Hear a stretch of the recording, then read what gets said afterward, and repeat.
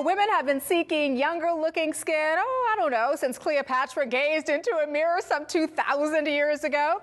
Well, fast forward to the 21st century. Modern science is advancing the quest to stay youthful in ways ancient Egyptians could only dream about. With us today discussing 21st century advances in the cosmetics industry are Drs. Raquel Delgado and Cristina Carreño of Lipotec. Hey, welcome to the both of you. Good to see you. Good, morning. Good to be here. Glad you guys are here because you are both on the front end of major advances in cosmetic science. What have been the biggest ones that you've been associated with?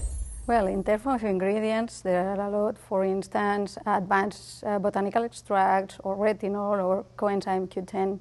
But in Lipotec, we have been focused in molecular cosmetics, which comprises, for instance, biotechnological marine ingredients and peptides. And one of our peptides, argireline, has been a very successful product in the cosmetic market. So it's being used for millions of women around the world. I want to shake your hand. You've been the one keeping me young all these years with all these advances that have been going on. All right, I want to talk a little about, about in vitro and in vivo clinical testing. They are a large part of your company's scientific methodology. What role did these play, Dr. Carreño, in the cosmetic products that women are using and purchasing today?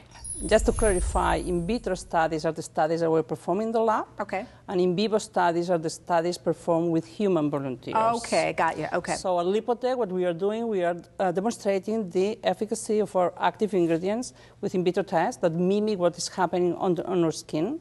And then we perform safety studies to ensure that the products are devoid of any kind of adverse effects if you apply products on the skin. And finally, we prove the efficacy uh, in uh, clinical studies that, uh, to, that show that the products are really working and that the, we bring the most innovative ingredients and safe ingredients in the market. No, very important. So, Dr. Delgado, what should a woman uh, who's about to make a cosmetic decision look for on those product labels? First of all, I would recommend to buy a cosmetic product by a respected company mm. because they, uh, their claims are supported by clinical testing, is important. And also to have a look to the list of ingredients. It's located in general in, at the back of the box. So you will see there uh, uh, writing them in descending concentration, so as higher, as more product has inside. So for instance, if you want to look for a argireline, the INCI name, it will be acetyl hexapeptide 8. So you have to know what to look for. Yeah. This All right. key point. Yeah. yeah. very key point to know what to yeah. look for. And here's the thing, though. I have to tell you, consumers like myself, we've been exposed to anti-aging advertising claims for years. What ingredients or formulas, in your opinion, show the highest degree of success?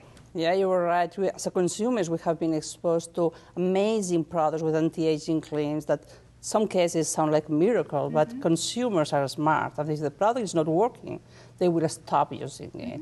And the success of our business, success of Lipotec, show us that the products are working because the consumers still buying uh, buying them. And this is because we have been able to bring to the market products like argireline. This is the peptide that's able to minimize the appearance of expression wrinkles in a short time. You know, I started using anti-aging products in my 20s. I started with a retinol in my 20s. Is there an optimal age for a woman to begin using anti-aging, anti-wrinkle products, Dr. Delgado? Yeah, I think that you have been clever because you have to start in your 20s. Good, good. Okay, good, good, good.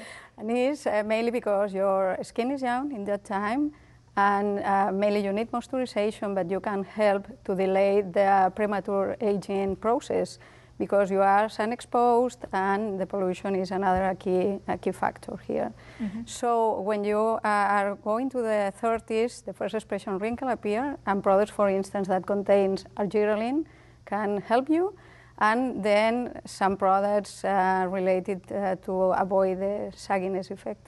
Dr. Carreño, what are the most relevant things that you've learned from research about lessening the appearance of wrinkles? The most important thing that we have learned is that there are real differences between the skin of young people compared to that of mature skin and then that we need a specific solutions for each of the ages. At Lipotec, we have been able to develop a specific product for each of these needs. All right, very good. Dr. Delgado, let's talk a little bit about preventative cosmetics. You know, those are cosmetics that I understand are formulated to help prevent damage from pollutants and free radicals and sun exposure, all these things. Yeah.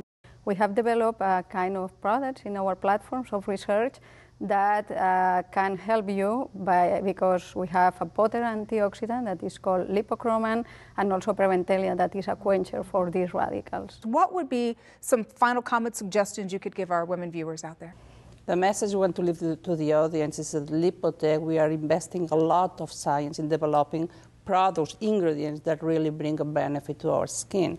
So when you apply your products onto your skin, it's not an illusion, it's real science. Love that. This has been a real informative segment. Mm-hmm. Thank you so much for stopping by. And if you'd like to learn more about today's cosmetic topic, please visit lipotec.com. That's lipotec.com. Oh, and want to share your thoughts or questions on cosmetics, anti aging, or even find out what others are saying about staying young?